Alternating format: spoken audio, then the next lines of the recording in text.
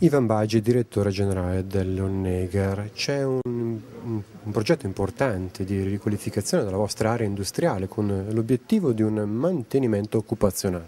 Sì, esatto. Eh, purtroppo questo, questo, progetto è iniziato eh, con la sigla di un accordo sindacale, eh, di un accordo di programma circa due anni fa e i tempi burocratici hanno rallentato un po' i procedimenti.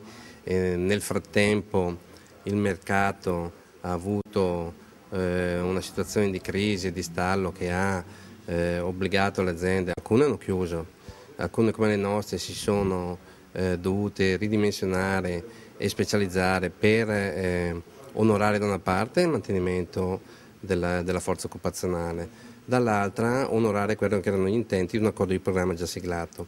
Eh, fortunatamente mh, in questa fase eh, l'emorragia di fatturato e di mercato eh, si è diciamo, stabilizzata e eh, siamo in grado di, eh, di, poter dire che il cotonificio Neger è stato scelto dai propri clienti come interlocutore primario per le proprie collezioni e, per, e pertanto noi mh, su un downsizing di 130 persone possiamo garantire la continuità aziendale.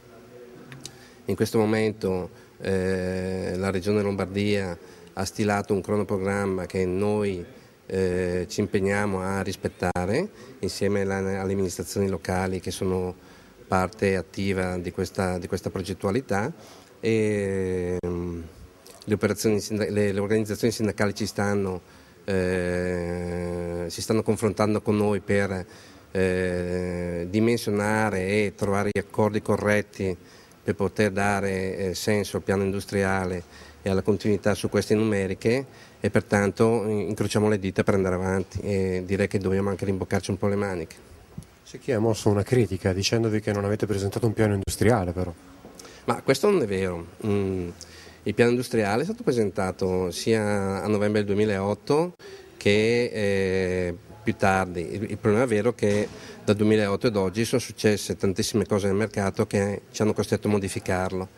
Eh, in realtà il piano industriale è pronto, eh, i dettagli che ci sono stati richiesti eh, in profondità saranno analizzati nell'incontro con le organizzazioni, organizzazioni, sindacali il giorno 28 in Confindustria e pertanto in quella data eh, saranno diciamo, eh, soddisfatte tutte le richieste specifiche di approfondimento.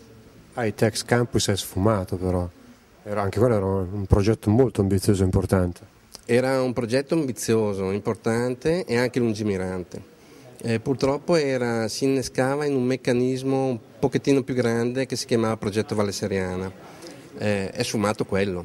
Eh, l'idea dell'Hightex Campus c'è ancora. Mm, vorremmo rinvigorire, se ci fossero le risorse e le dovute attenzioni, eh, secondo me è un progetto che non è da, da seppellire.